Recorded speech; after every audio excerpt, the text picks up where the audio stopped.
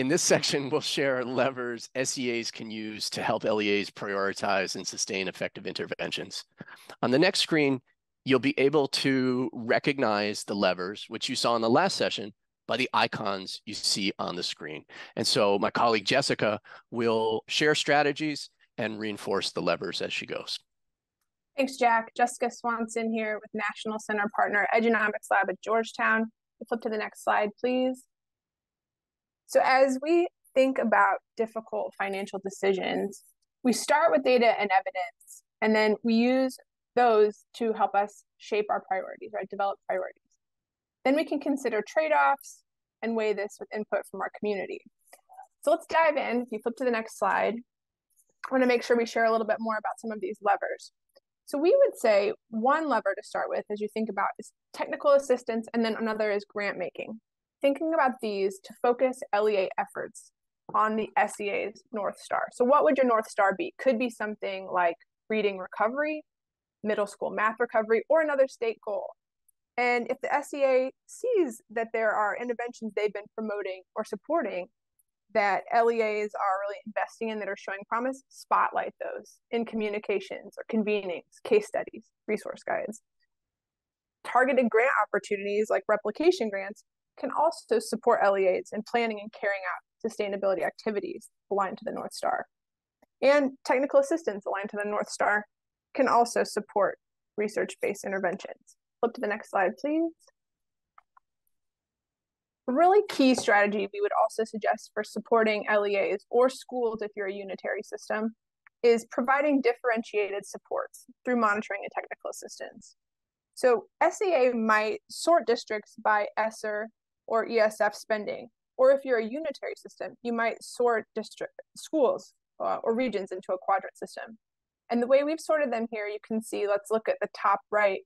That quadrant is have spent most of their funds and have good outcomes versus the bottom right have spent most of their funds and have low student outcomes. And as you plot the LEAs or schools, again, if you're a unitary system, in a quadrant like this, it can help you identify the right next steps in terms of support. So, for instance, if you are an LEA that has spent most of the money, you might be receptive to support around trade off or prioritization discussions. And if it's an LEA that has not spent very much money, it might be a good one to support with thinking about continuing spending. Advice on that. So, a good strategy here is to plot those LEAs by spending and by outcomes, or again, schools or regions if you're a unitary system. If we go to the next slide, please. Another strategy that the SEA can consider is using convening power, this lever, through partnerships and technical assistance to encourage prioritization conversations. So you could leverage new or existing partners, particularly such as partners that you've been working with to help those districts most in need of support. And you can convene districts that are similarly situated.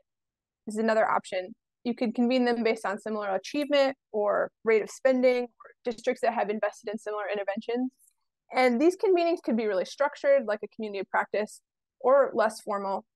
And you can convene them to think about how can they work together to consider what to prioritize and sustain.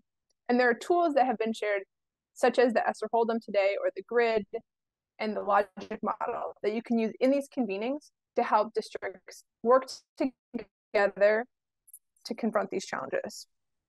If you flip one more slide for me, please.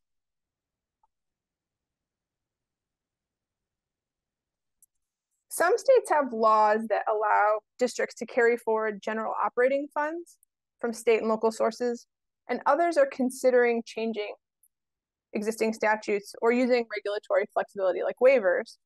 And states can offer this flexibility to give districts some guidance in making sure that they're aware of sustainability options. We've been compiling data on what current um, uh, policies or statutes are. If you're a unitary system, we'd love to hear what your policy is as well. We don't have that data, but we'd love to get it. And again, replication grants can also provide an opportunity to continue promising interventions. So thinking about how can we be sustainable through leveraging levers to smooth out funding over time, whether that's the regulations or through grants. We can go to the next slide, please.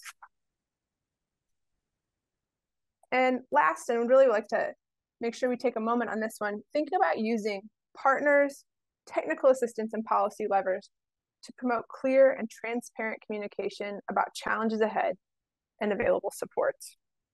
So SEA finance and programmatic staff can work together. Sometimes these teams don't interact as closely as they could, but it's really an opportunity to partner to create coherent technical assistance to share tools and strategies. And we've seen this really powerfully in some SDAs where staff that had previously reported feeling siloed came together to support planning. Another lever here is using transparent language to prepare interested parties for and engage them in discussions around the trade-offs. So we had that visual at the beginning about weighing community feedback, but being really transparent with all of these community stakeholders to bring them into the conversation as we think about the trade-offs and moving forward.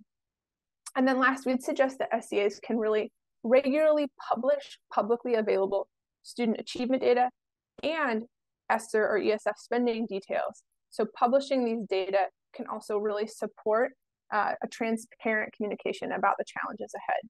So these are some of the levers that SEAs can take now to support the LEAs in their states